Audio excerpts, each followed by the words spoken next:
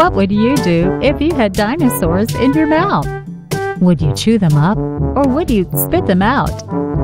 Follow along with your child as you enjoy this fun-filled, silly picture poem book about dinosaurs in your mouth.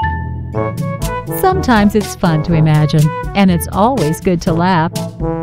You and your child will enjoy this silly book that will make you and your child giggle. Enjoy this book with your child by purchasing it today in paperback or ebook for Kindle. Follow the links below to purchase or visit GrammyTaleBooks.com for this and more books written and illustrated by Daniela Nitzband.